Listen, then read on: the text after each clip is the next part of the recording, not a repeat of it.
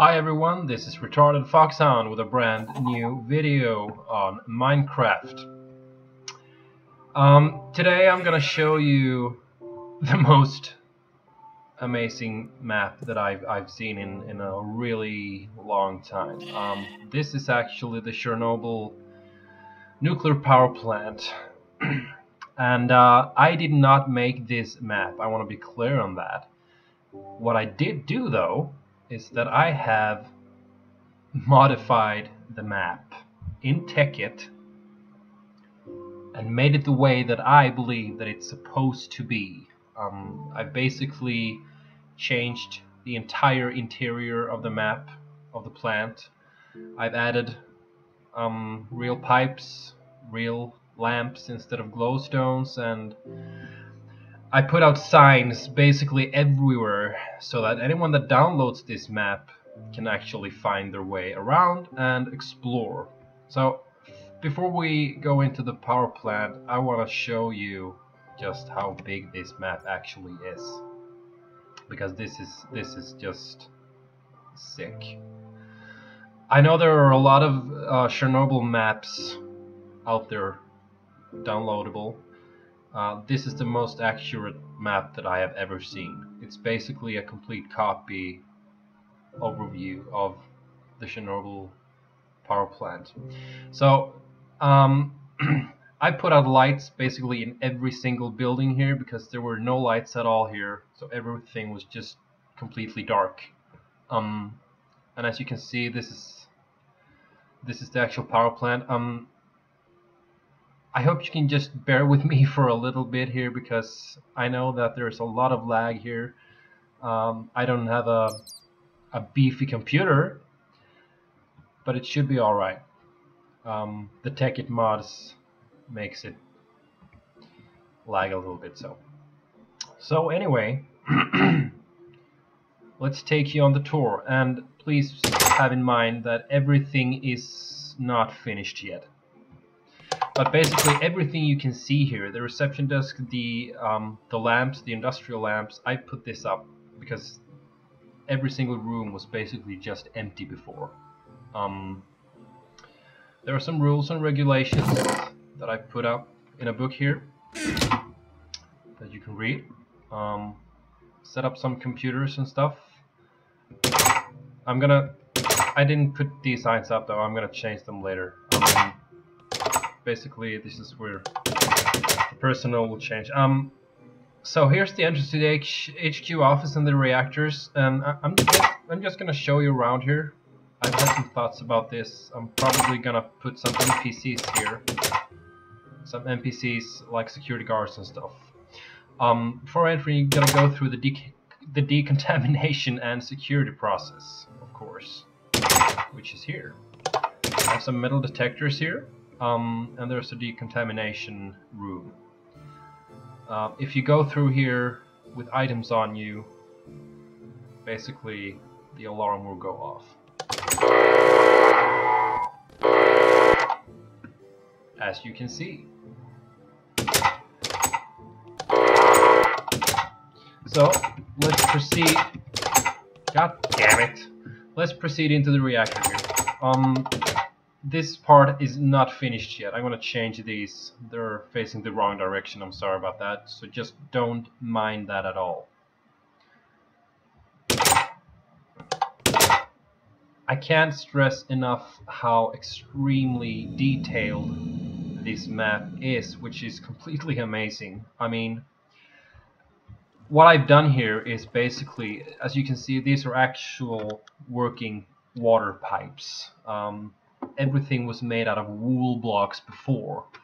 Unfortunately, as you can see, all the walls are made out of wool, so don't light a match in here because you'll destroy the entire nuclear power plant in a matter of seconds. Uh, what I did do though is that I changed every single outer wall and the roof into iron. So hopefully I'm, I'm gonna get started in changing all the inner walls into iron soon as well. So Here's the connective hull to Unit 3 and 4. We have the pumps here.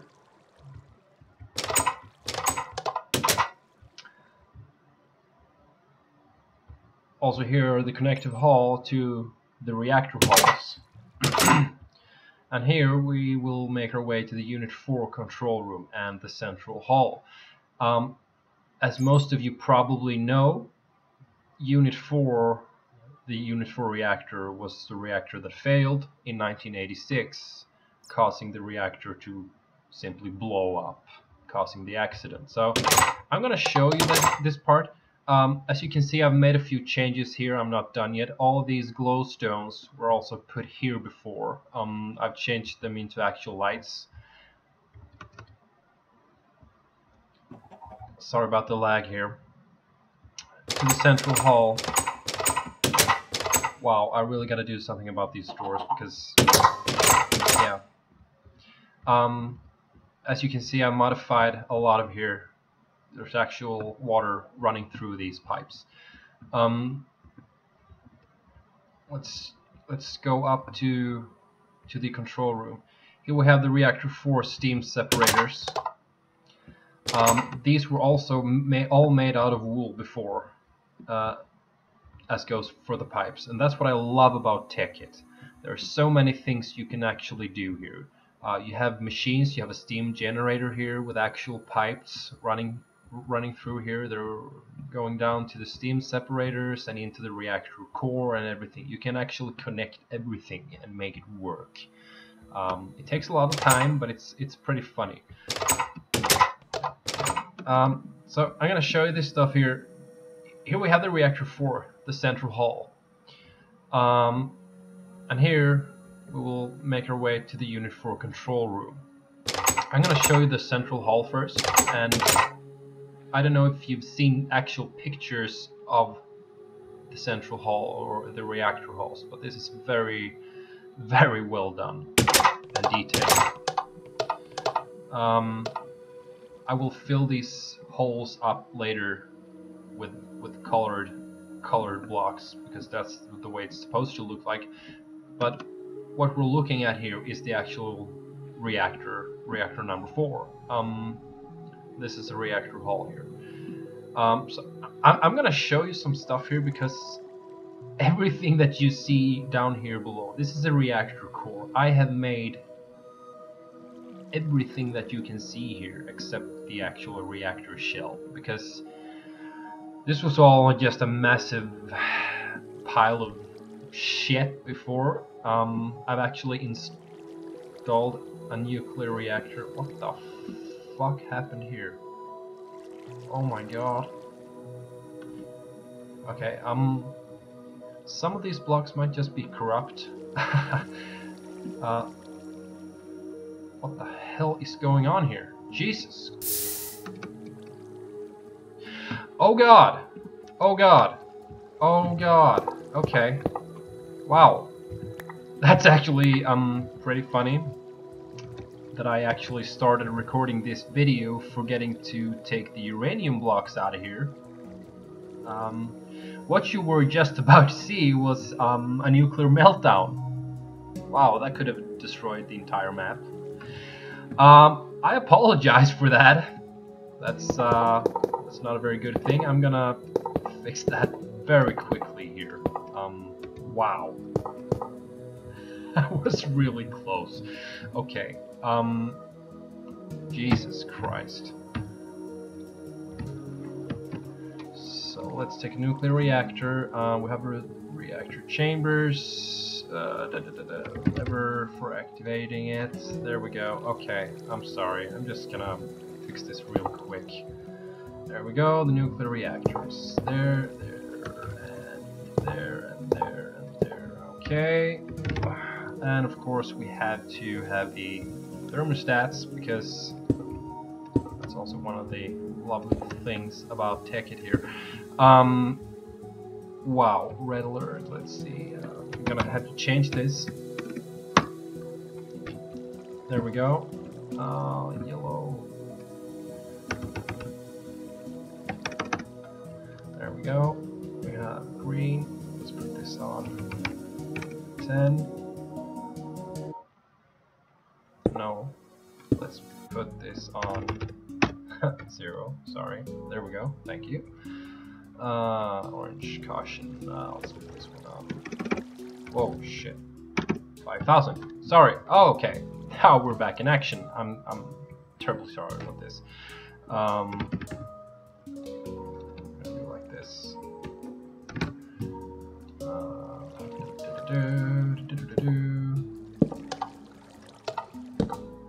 Okay, there we go. Okay, anyway, so what I've done here um, is that I put thermostats into the reactor. So basically, when you fill the reactor up with uranium rods, with fuel, and activate the reactor, it will start producing actual power because I have connected this reactor to the turbine halls actually making power, which is pretty awesome. I'm gonna show you this later. So anyway, all these wires here, the red alloy wires, they are connected to the control room. So when the heat of this reactor will rise, there is an active warning system in the control room. So if the heat will go way too high, um, the alarm will go off which was basically just about to happen. Wow. Um, can't believe that. So, as you can see, everything here, all these pipes and stuff are actually connected. Um, okay, except this one, sorry. Um, I'm gonna show you this now. I've connected it over here. All of this stuff goes straight up into the control room, which is behind this wall. I'm going to show you this in just a moment. And over here, we have this power cable connected to the actual reactor, producing power. We have the airlock, uh, the passcode to enter the, the core, of course. Everything that you see now, I have built. I have modified this because this wasn't here before. Um, to make it have a little bit more of a realistic feeling, you know. Uh, here are the pumps. Um, this leads out to the golden corridor, as you can see. And here have the uh, Unit 3 and 4 turbine hall. This is amazing. Um, basically everything here was was there before on the map. What I've done is that I've placed out lamps everywhere. I have remade the piping the way that it, I believe that it's supposed to be because this was just wool blocks before.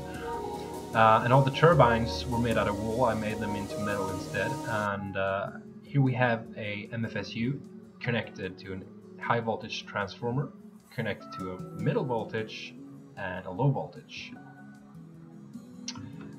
uh, which is actually working um, when the reactor is active. I'm to show you this now There we go. So let's make our way back to the core right here.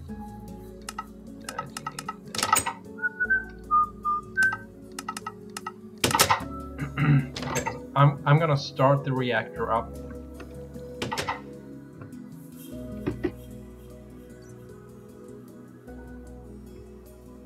There we go, into the core.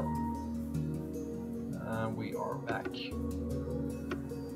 Oh, Wow, that is laggy as hell. Let's take some fuel rods, uranium fuel, and of course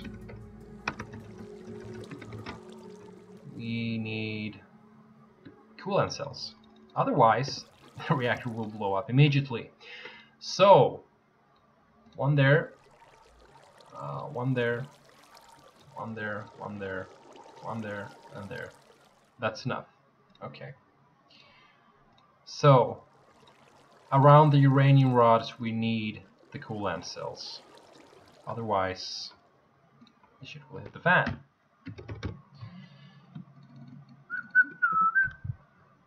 We go. Thank you very much. One there, placing one there, and there, and there, and there, and there. Almost done there.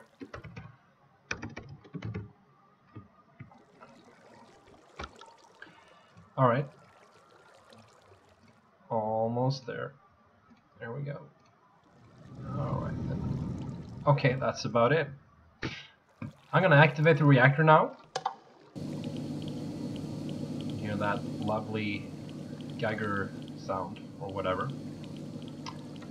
So when the temperature rises here, these thermostats will warn me before there's an actual accident. You see the core temperature is still at 0%, which is great, that's the way we want it all the time. So, this reactor is actually producing power now. Let's go back to the turbine hall and I'm going to show you that it actually produces power.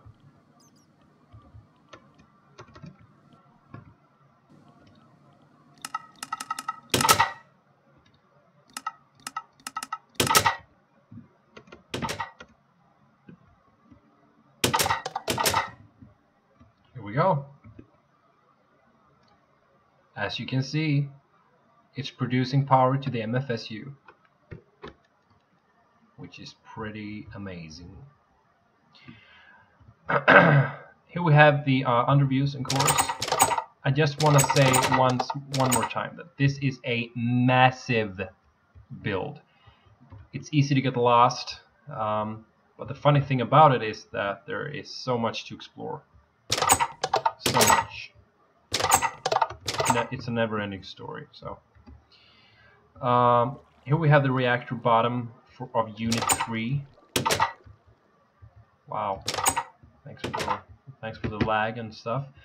Mm, there we go. Uh, reactor 3 I have not finished yet. You see, I've, I've, it's, I've basically, basically just put the the reactor chamber up here and, and that's basically all I've done. So here we have Central Hall 3. Alright. Um, I'm going to show you the control room now. Okay, let's do this a little bit in an easier way. Yes, and there we go. Wow, okay, I'm going to remove these uranium rods now. Thank you. Hopefully that'll go away soon. Um, as I said, it's pretty hard finding your way around here because it's so big. Um, oh, oh, you look at that. So this is how the steam separators looked before I changed them. So this one isn't finished yet, as you can clearly see. We have the emergency coolant pumps here. These I modified a little bit, basically putting them on like that. We have a pump here, an actual pump. They're not connected though. Put some lights around in here. Um, let's see here. Connective corridor, golden corridor, uh, the pipe hall, pumps, more pumps, turbine hall. Okay, let's make our way upward. I'm going to try to find my way into the control room. Um, the best way to get to the control room would probably be here in the connective corridors.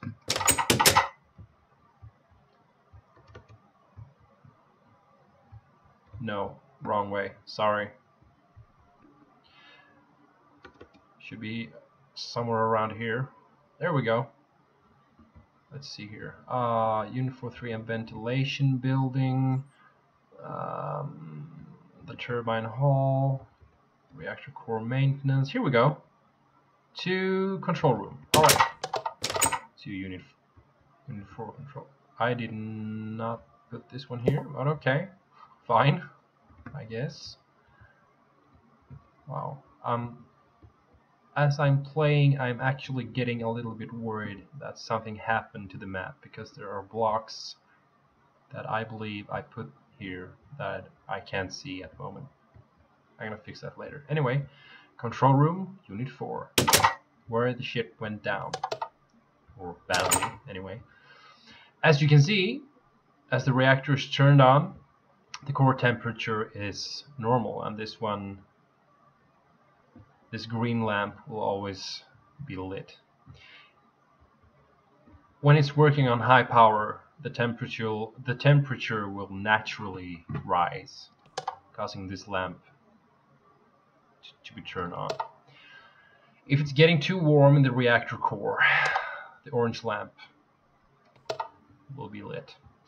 And, of course, as for the accident that actually happened, um, if the reactor overheats, the this red big lamp will be lit and the alarm will sound. Basically, if the alarm goes off, that'll give you maybe 10 seconds to get out of the building or shut down the reactor before everything goes to hell and explodes. So, this is the control room. Uh, this is supposed to be the overview of the of the reactor and the fuel rods.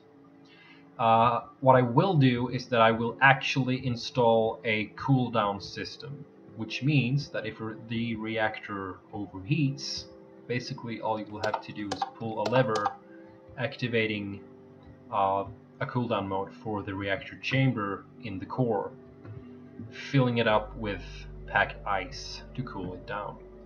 I'm not finished with that yet, so that's that's what future will do. So, all right, um, we have the upper connective corridor here. Unit 3 control room. As you can see, I haven't get, gotten started at all at this control room. So basically every control room looked like this before I made the modifications. Um, I'm gonna take you around here. Already been there before. Let's go out here. Okay. there we go. Um, I'm gonna show you around here a little bit just to see what we're actually dealing with here. As I said, the map is enormous. It's enormous. Um, and all these buildings outside of the map, I, I emergency bunker here. Um, I put out a lot of work on this map, uh, modifying it and you know, giving you the feel that you're probably after playing a map like this. Um, what I'm going to do later probably is that I'm because as you can see it's a flat world which is too bad of course but it's it's possible to edit that in in MC Edit um, moving this world into an actually a regular Minecraft world a little bit more playable or whatever. Uh, we have an office building here. The interior is, of course, not finished yet. But here we have Unit 1 and 2. Yep. Looking really good. Sorry, it takes some time for my computer to render this.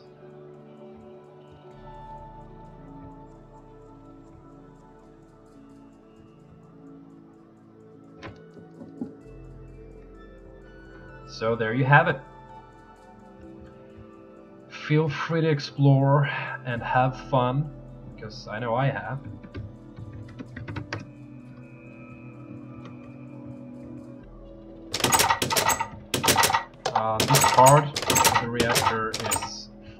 Finished. Unit 1 and 2, I haven't gotten really started on them yet. Um,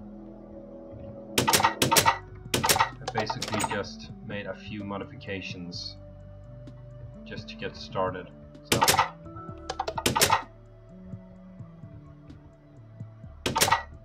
yeah. So if you like this video, please leave a like on the video to show me that you like the content. Um, and don't forget to subscribe for more Minecraft videos like this. I'm an explorer, I'm a builder, that's what I do. Um, I will most likely modify a lot more maps in the future to come. Um, if you have any suggestions on maps that you've played or seen that you would like me to modify and put a video on it, please leave it in the comments. And also please comment what you thought about this video. Thank you very much guys.